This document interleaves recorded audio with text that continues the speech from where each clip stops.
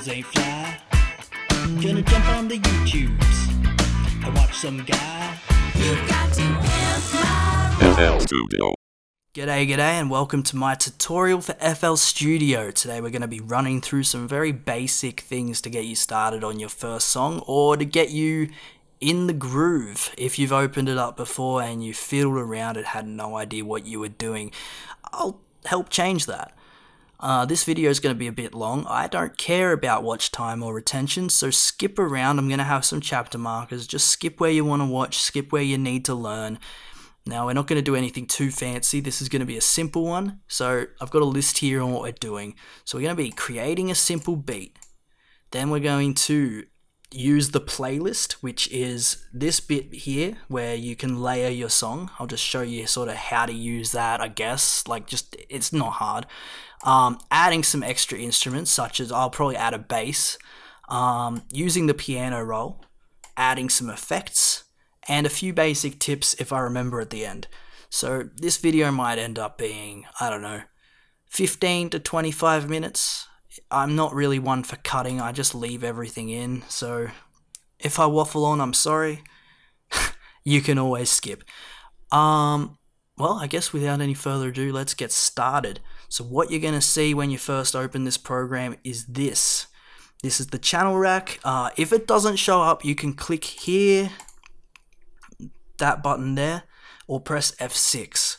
Uh, I don't expect you to remember hotkeys. I've been using this program for years and I don't know any hotkeys except pressing spacebar to play. Uh, so, you know, the buttons there. Um, now, what we're going to start off with creating a simple beat. Now, you can just click, click, click, click anywhere you want to click. You got yourself, you got yourself doof, doof, doof. Fill Feeling every two step. There you go. Easy as pie. Got a basic beat there. There are other ways to do drums, but that is the absolute most basic way that I think everyone who starts with FL Studios starts with that. And it's there's nothing wrong with it. I use that all the time. Um, now what we're going to use to do next is the playlist, which is this part in the back. What you're going to see there, pattern one. You can right click on there and rename it and give it a color even. I'm not going to do that. It's just called pattern one. That's our drum pattern that we've just made. You can paint it in there or click them in. You don't have to. You don't have to paint. Uh, and there you go. Now to play it in there, you'll have pattern that plays this. But if you switch it to song, it will play it there. Uh, yeah. So pattern one. How do we make extra patterns? Well, there's two ways that I can think of. You can put your mouse there and scroll. So now we've got pattern two. I scrolled up.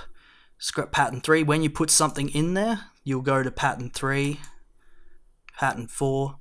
If you've got nothing in there and you scroll, it'll just go to pattern three but not make any new ones.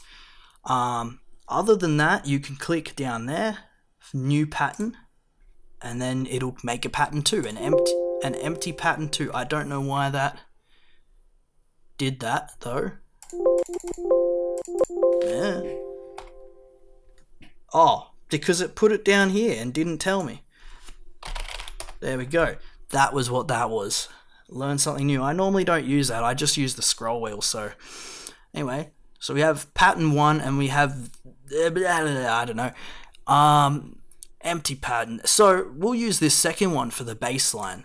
Uh, so what we're gonna do is we've got our drums there. You can click there or you can uh, if you you can right click and go insert or replace.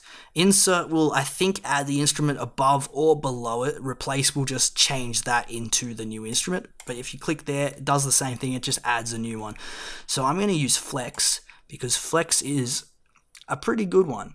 And it comes with fl studios. Not all of these but a few of these packs. So I'm going to use bass guitar. I really like the five string new rock slap. I use that in a lot of rock songs I do.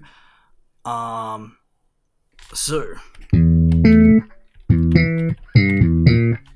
sounds pretty good. Uh, so what we're gonna do, I'm gonna set that to five. What that means is in the mixer, which I don't really, I didn't, wasn't really gonna cover that, but then again, we need it later for making effects. Five means it's on the fifth channel. One, one, two, two, three, three. So it just corresponds to what channel it is. Um, I'm actually going to put all of these up one channel, and I'll come back to why I did that later. But for now, pretend, just don't even worry about that. That doesn't matter for now. But later on it will, and I'm just increasing my efficiency for now. And, you know, if you're following along, do that too, because it will make things a bit easier later on. So, what do I do next? What am I up to? Adding instruments. So I showed you how to add an instrument. You can right click or you can press the plus. Now what we're going to do is use the piano roll. So on uh, the second pattern, right click, piano roll. I don't really know what I'm to make, but that's really low. That's really low. Alright, so we're to do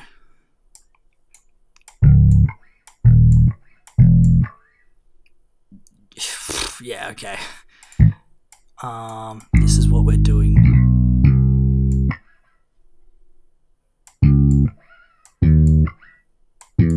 So that should sound like pretty simple. Doesn't matter. Let's paste it in. It's gonna sound like this. I'm just gonna turn the level down.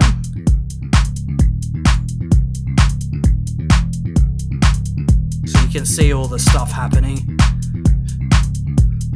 And enough of that. So, that's the basics. I'm going to add one more instrument just to repeat it. So, what we do is, well, we can start a new pattern. So, I just scrolled, click the plus. I'm going to add another, well, I might do a different plugin because why not? Um, let's go with, what else do I have? some of these are going to be in um I'm going to use Sytrus. Okay, I do own Sytrus. Some of these are in trial mode, which is a bit shit, but you know, if you you probably if you're starting out, you either have the the trial version of FL or you have the producer edition if you've splashed out with some money.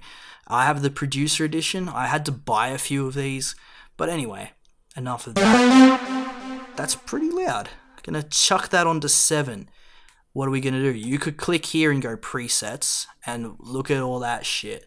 So, what do I go with? Let's go synth string. We'll go cello. How's this sound? It sounds horrible, but we're going to use it because I'm not wasting more time. So, let's turn that volume down a bit.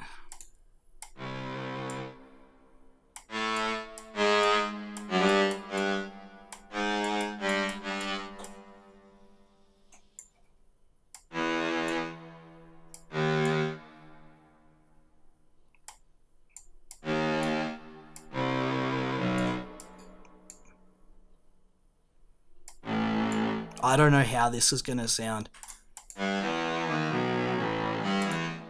Let's hear how this monstrosity sounds together.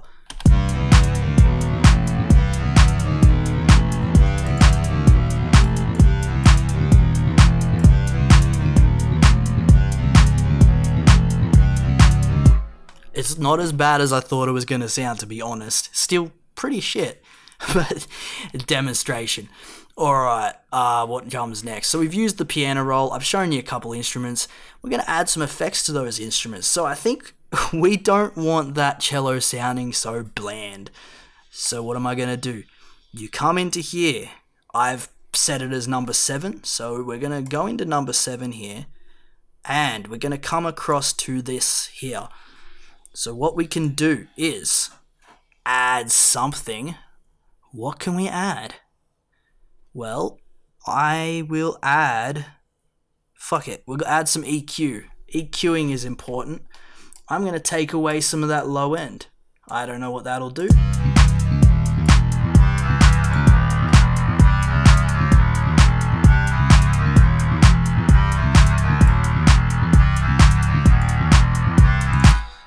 We go. Um, and I'm gonna add a bit of delay just to give it a bit of a whatever. I, I'm trying to use stock plugins. I do have a few extras, but I thought we'll use ones that you can probably use as well. Stock delay bank, the fruity delay bank. I'm gonna use. I who knows. Um, we'll go funky tin roof. That's probably gonna sound horrible.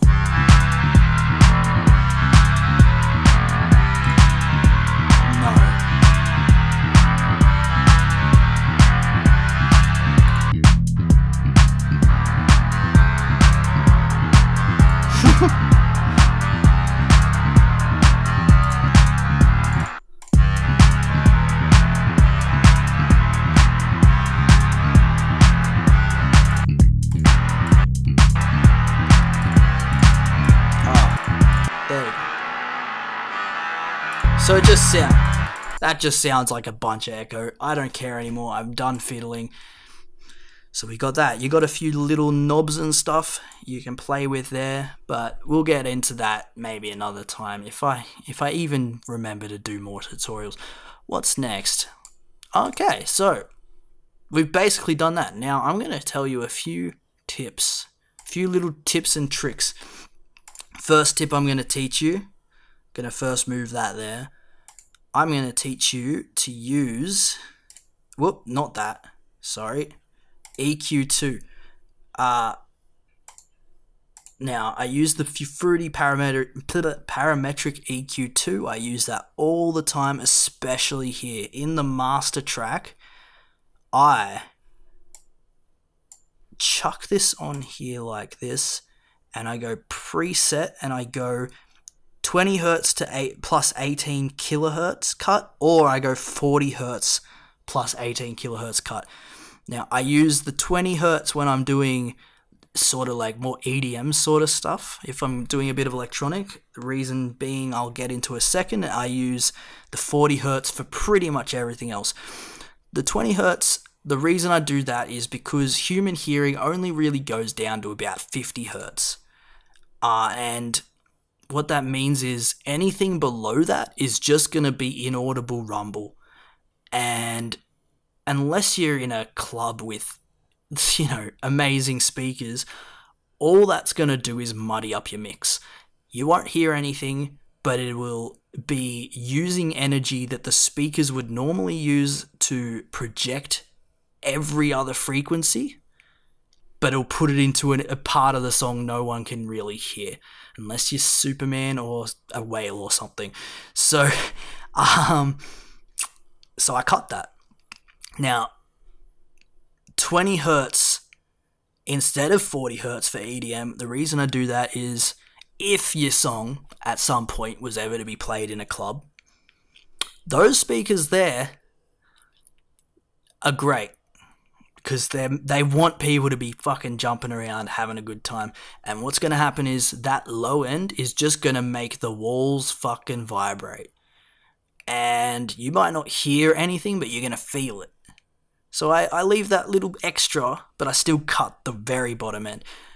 With everything else, I just do that, that 40 hertz cut because you don't need it vibrating the walls. That people aren't, you know, if I'm doing a rock song, no one's waiting for that feeling of everything vibrating. They just want to fucking have a good headbang or something, you know? Um, now, the second thing I'm going to do is I'm going to down the bottom. Now, you're not going to have this, but you should. It's very free. It's called Youlean Loudness Meter 2. Now, this is for all of you who want to chuck your songs up on Spotify or YouTube or anything like that not not so much YouTube, but definitely Spotify and other streaming services. But it's good practice, especially to get in early. What you're gonna do is this is going to uh, listen. Basically, as you play it, it's going to measure the loudness of the song, not how many decibels it is, but the perceived loudness. It doesn't matter how um like loud or soft your computer speakers are or your headphones, but it'll measure the perceived loudness in LUFS. Now, what the range you want for Spotify is it's in negative LUFS. Um, you're going to want negative 14 or 15 on average. I'll start playing now.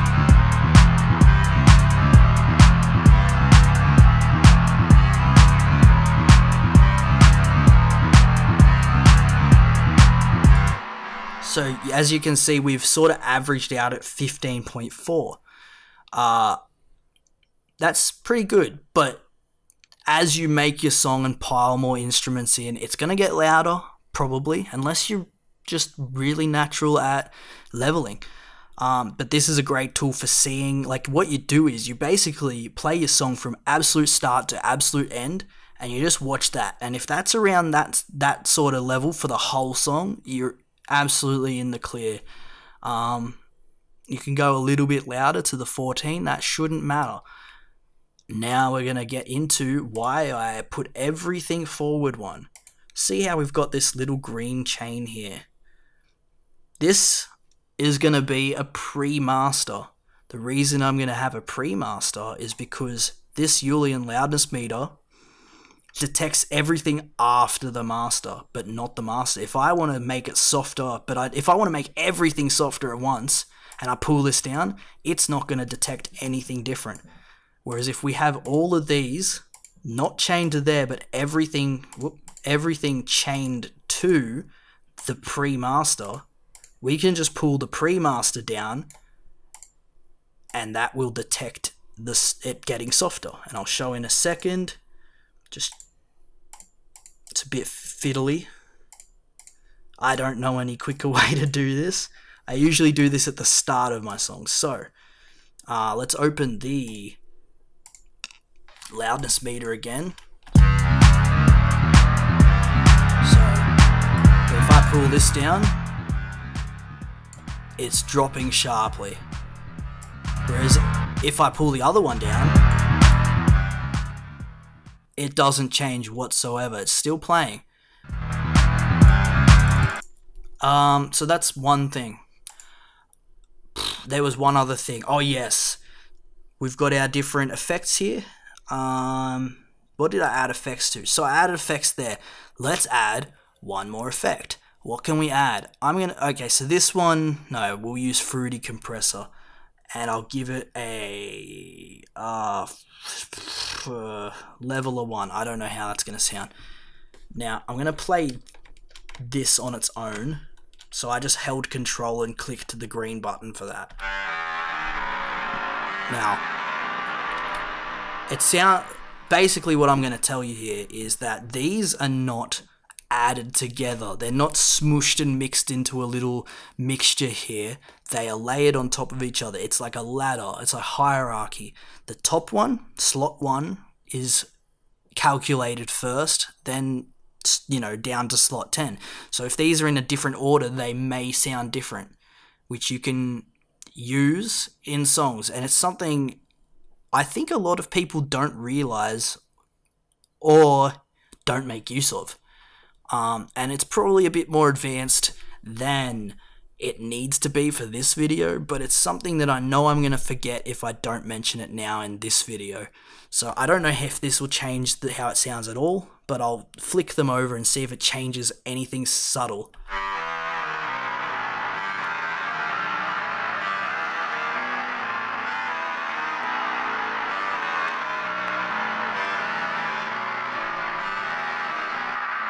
There we go, there's a difference.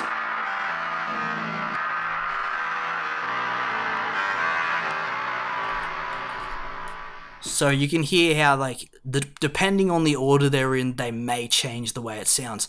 Uh, I was moving those by scrolling, so you just put your mouse over one and you scroll, and it'll just hop around. Um, but that's that. That's something to keep in mind. I know I'll never mention it again if I don't mention it now. Uh, I hope you've learnt something because I think this is all I can think of to talk about, but I'm going to try and go into more detail on some of these other ones. Now, don't forget Youlean Loudness Meter. It is free. You can download it. You can just Google it and install it. Um, and actually, what you can do to add to add this in, you would then go add more plugins, manage plugins, and oh, it opened up on my second screen. There we go. And what you will find here, you'll go find installed plugins, you click it, and then you once it's found it, you scroll down. So that's a bit of an extra tip for you. Um, I'll go again. You go add more plugins, this will pop up. You go manage plugins. This will pop up. Find installed plugins. Click that. It will search your computer through. I think I think it will just search the places that they're normally installed, or it might do a full system scan. I don't actually know that, but you know, if you just install them to their default locations, you won't have an issue. Uh, it'll find them, and then you scroll through here, and you can just star whichever ones you want because they sometimes don't appear if you don't click a little star next to them. Then once that's done, you can go back in here, and it should show up. Should show up here. Oh, I forgot to mention something. So when it comes to adding an instrument, you've got where is it? So you can do it here, but you've got your sample packs here. So if you want to change the sound of these drums, uh, we'll go to well, you got legacy drums. I use Real Drum Kit. So we've got a kick drum that sounds like this. No, why do I? Oh yeah, it would sound like that. Sounds like this if I change it to real drum kick 2, it'll sound. So you can drag and drop them in to just replace it without having to do it again. Um, that should have really been in the uh, adding instruments part or the creating a simple beat part, but you know, if you've watched all of this, there's a little extra help for you. Thank you for watching. This has been 22 minutes long go get yourself a nice cold beer.